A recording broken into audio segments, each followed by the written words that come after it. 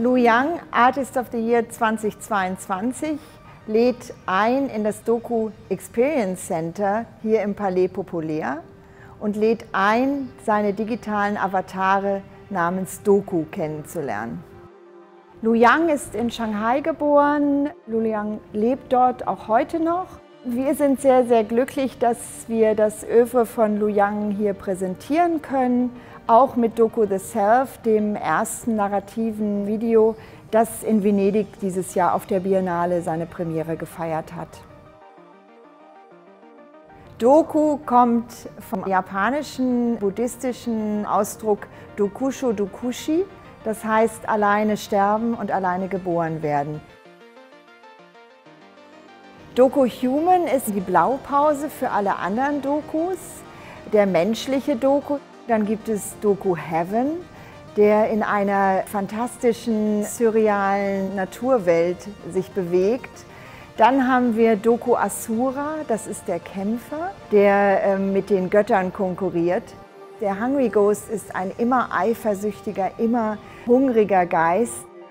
Doku Animal nicht zu vergessen, die tierische Version, also das äh, Doku in einer Tiervariante. Das Tier hat im Buddhismus auch eine Seele, kommt aber aus dem Kreislauf des Fressens und Gefressenwerdens nicht hinaus. Und dann haben wir Doku Hell. Dokuhell ist, ähm, bewegt sich in der Hölle und hat seine eigene Welt, die sehr an Dantes Inferno auch erinnert. Jede der Welten hat ein eigenes Narrativ und eigene Attribute für jeden der Avatare. Dieses Hinter sich lassen des binären Konzepts und Auflösen des Selbst ist ähm, ein zutiefst buddhistisches Konzept. Und das sehen wir hier auch in Doku the Self, wo sich Dokus Self auflöst in kristallinen Strukturen.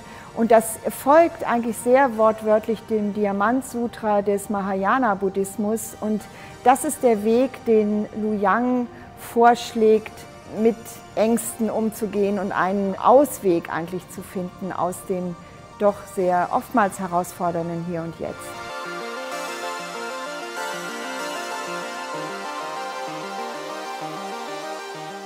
Youngs Produktionsprozess ist extrem aufwendig und ähm, zutiefst in der realen Welt verankert. Alles, was wir hier sehen, wurde von realen Menschen aufgeführt quasi. Also es sind TänzerInnen, die dahinter stehen, die tanzen, gefilmt werden. Mit dem Motion Capture Verfahren werden Daten erstellt.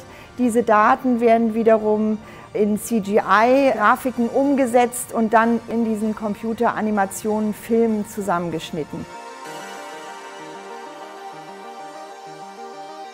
Mit dem Deutsche Bank Artist of the Year Programm versuchen wir den KünstlerInnen einen neuen, einen weiteren Schritt in ihrer Karriere zu eröffnen.